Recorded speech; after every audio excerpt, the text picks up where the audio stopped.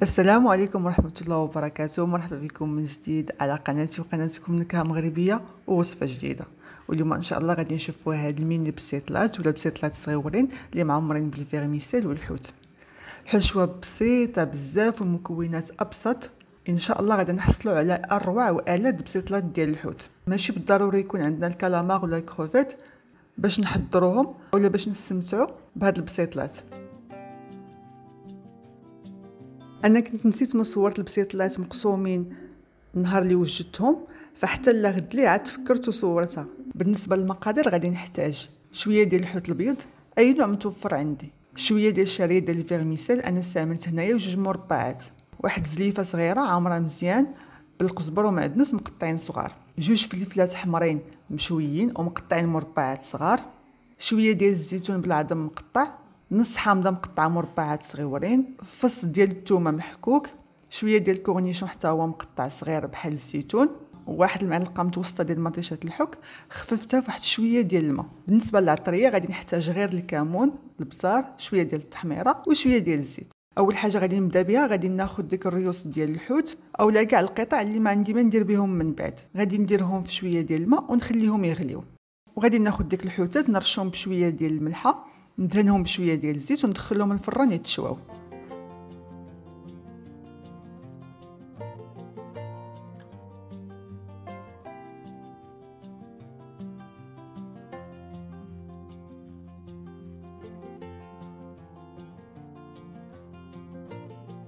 من بعد ما يغليو هذاك الماء اللي طلق فيه المذاق ديال الحوت هو اللي غادي نرقد فيه الفيرميسيل.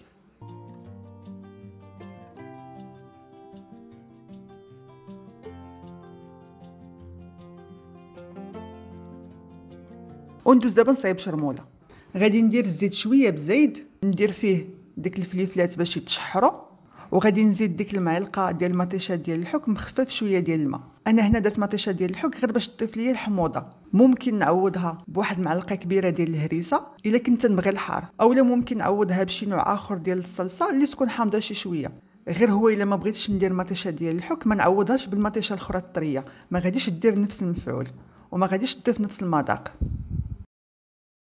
البسطيله ديال الحوت اللي كان سبق ليا ونزلت العام اللي فات. أنا كنت معوضاها بمعلقة كبيرة ديال الهريسة. وديك الهريسة اللي كانت عندي ما كانتش حارة بزاف. يعني كانت تضيف ليا الحموضة وواحد شي شوية ديال الحار. دابا أنا هذيك الهريسة ما عنديش فكان البديل ديالها هي هذه المعلقة ديال المطيشة. صافي غادي نعطيها الوقت باش طيب ليا شي شوية وتحيد منها داك المذاق ديال ديال المطيشة خضراء وتقلف شوية ديال الزيت.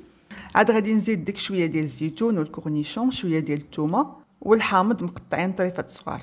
صافي وغادي نزيد القزبر ومعدنوس باش حتى هو ما بقاش ديال المذاق ديال الخضوره فيه ويطيب شوية. نرد البال هنايا ما نحرقش الشرمولة ندير العافية تكون متوسطة ونحرك باش ما تحرق ليا حتى حاجة. وغادي نزيد العطرية اللي عندي. غادي نزيد شوية ديال الكمون شوية ديال التحميرة وشوية ديال البزار. إلا كنت دايرة المعلقة ديال الهريسة فنرد بالي وما نديرش البزار من الأحسن. أولا ندير غير شي شوية إلا ما كانش الهريسة حارة.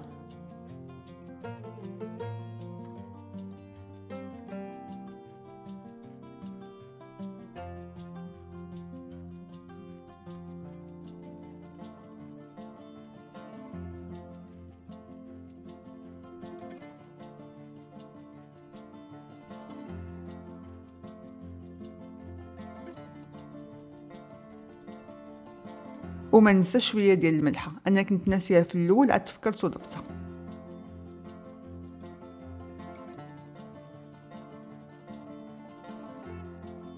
صافي من بعد ما تقلات ليا شرمولة مزيان الربيع ومطيشة ما بقوش فيهم مذاق ديال الخضورة عاد غادي نزيد الفيرميسيل من بعد ما استقطرتها وقطعتها شوية.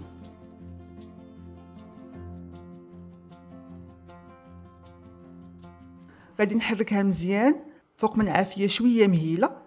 باش نعطيها الوقت تشرب لاصوص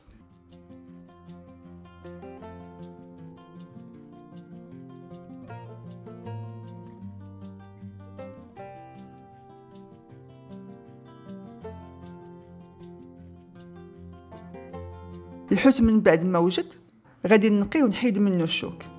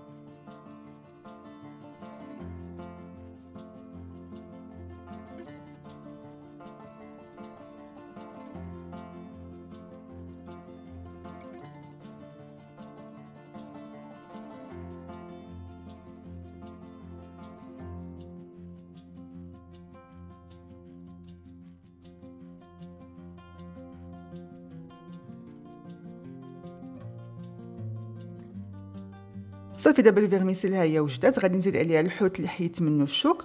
صافي ومن بعد غادي نزيد العصير ديال نص حامضة كبيرة أو العصير ديال حامضه كلها صغيرة.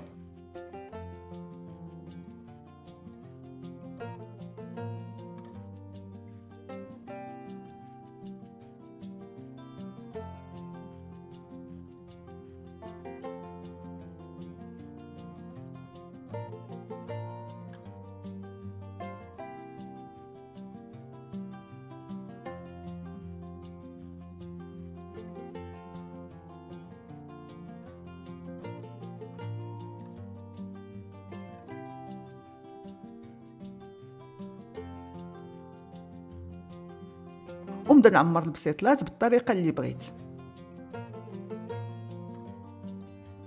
هاد الورقة غادي نعمرها بلا ما ندهنها لأنه كيف تلاحظوا غير شريتها من من المحلات التجارية الكبرى. ماشي هاد الورقة التقليدية البلدية اللي معروفة خاصها الدهن بزاف. فهذه غير شي شوية ديال الليدام اللي غادي ينزل من الحشوة كافي باش يقرملها ويقرمشها.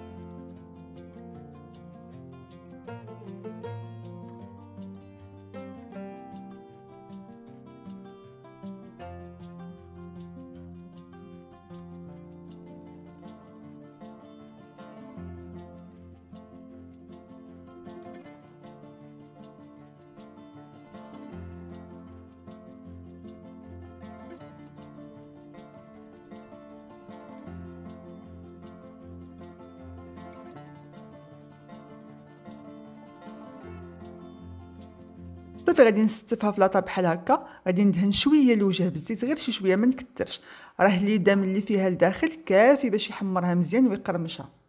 وندخلها الفران يكون شاعل من الفوق على درجة ديال الحرارة 200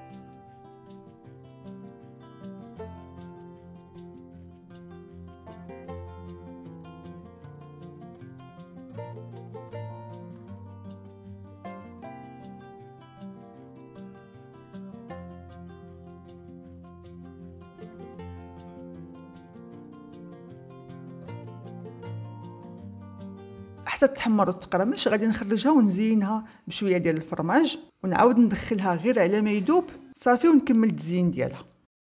نتمنى تجربوا هذه الطريقة راه فعلا البصيله تجي بنينة وزوينة واخا ما تكونش فيها واحد النسبة كبيرة ديال الحوت تجي بنينة وما تنحسوش بالغياب ديال الكروفيت ولا الكالامار